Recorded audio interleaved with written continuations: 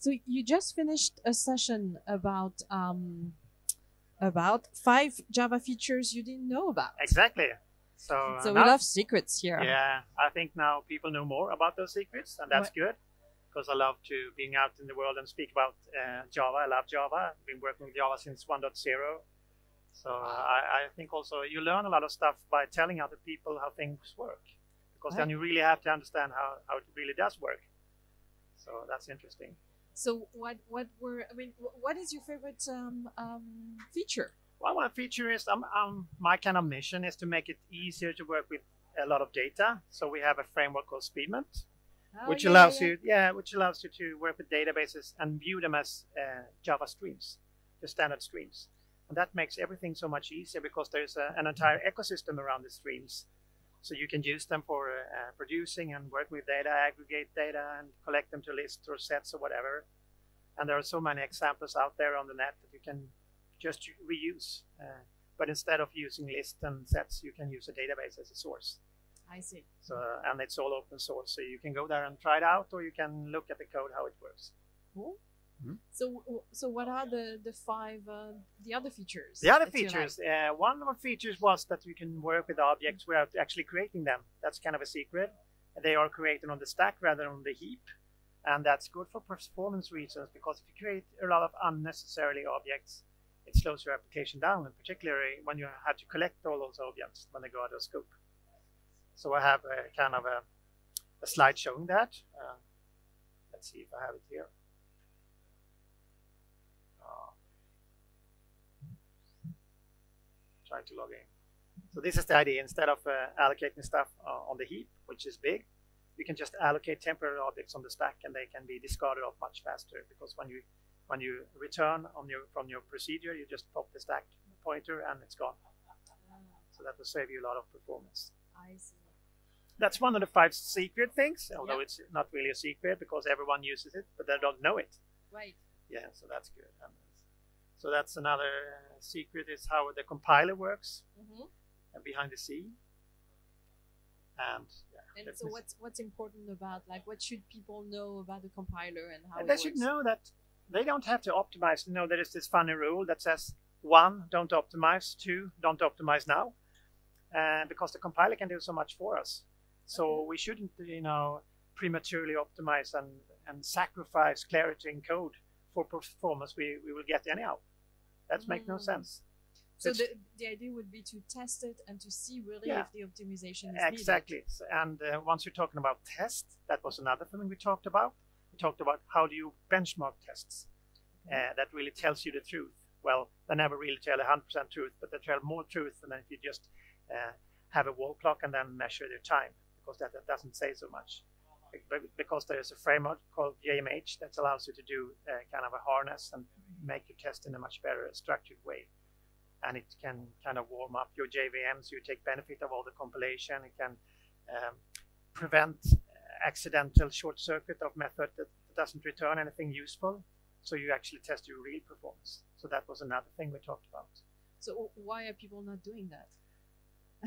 Or- or Some people are doing it, but uh, you know, uh, you tend to be lazy. Yeah. You do what you always did. So you you have a wall clock and you just measure the number of milliseconds, but that doesn't say anything because uh, your your process might be scheduled out for during that time, and then your your method was slow, or uh, something else happened, or maybe you didn't warm up your JVM and didn't compile it before you really tested it. So you don't test the performance of your production system. I see. So that is better to use the standardized framework when people have already thought about all those curl pits for you and taking care of that. So you just use like a, a good tool that Yeah, will actually To, do you, that you for put you. in your method in the tool and it will strip away all those uh, pitfalls for you. Nice. And, and what was the name of the tool? Uh, JMH, Java Micro Benchmark Harness. Okay. So that and that's included in Java these days, so you can use it. And there was another thing that you can, if you have a lot of data, and you can't have it on the heap because the heap gets flooded with objects and the garbage collect gets slow. So we told them a way to uh, have that off heap. So you lay it out yourself in memory and basically have your own memory manager, and you can have terabytes of data in the JVM with instant access without garbage collection. So that is, I think a lot of people ask questions about that after the presentation. So what kind of questions do they ask? Uh, how, how is it done? Yeah. Uh, what's the performance? Uh, have you done this in, in real system? And yes, we have. So that kind of questions. Uh, is it hard? And it doesn't have to be that hard to do it on, an, on, a, on a simple level. Right, because they are Java developers, so Yeah, they yeah. don't really. But but this is kind of using Java as, uh, as a little bit more like C. Yeah. So you can pick up the, the type safety and the good things with Java, uh, but you still get performance. Cool. So that's good. That's good. Yes. Any other?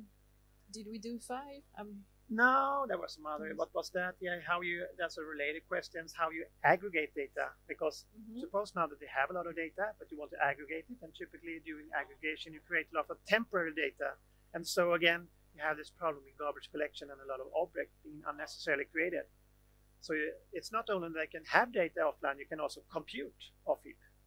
So you can have aggregation that live completely off heap, and they click together very nicely because the data you have off heap can be also aggregated off heap, and then you only read into the JVM or the heap rather uh, the actual result of the aggregation, which perhaps one times or one million times less than the entire data itself. So that that's a clever thing you can do too.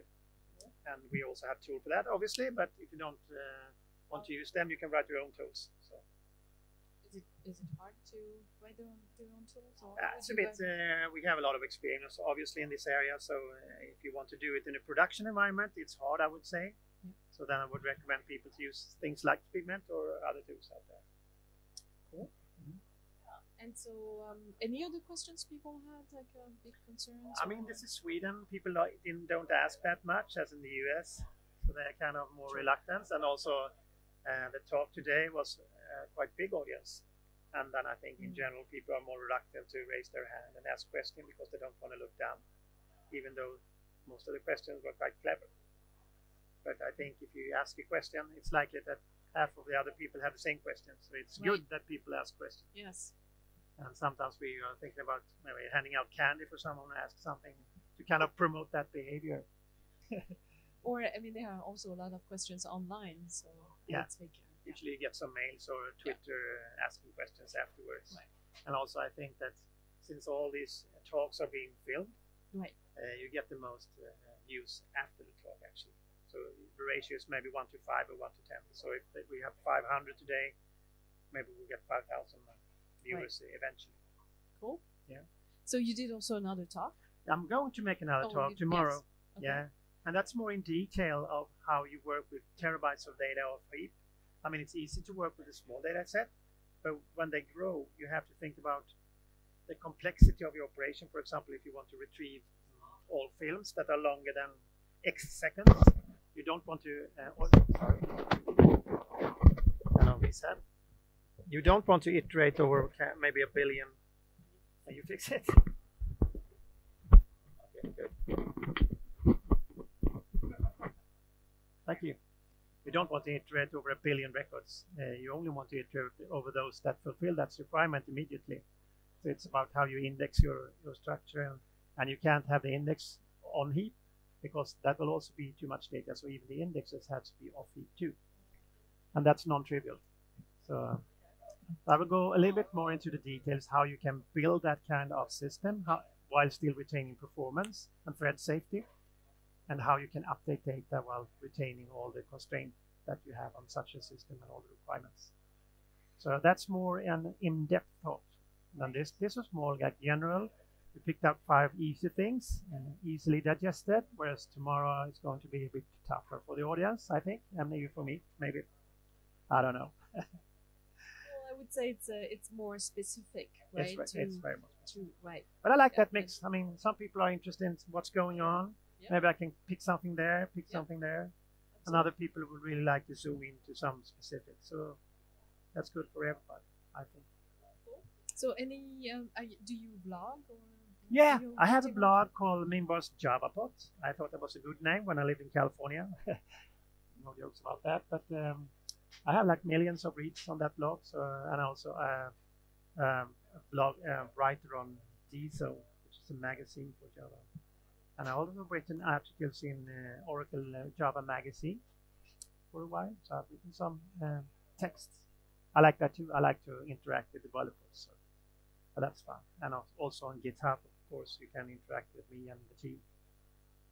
Excellent. Well, uh, thank you so much Thank for you by. Thanks for having me. Thank, you. you.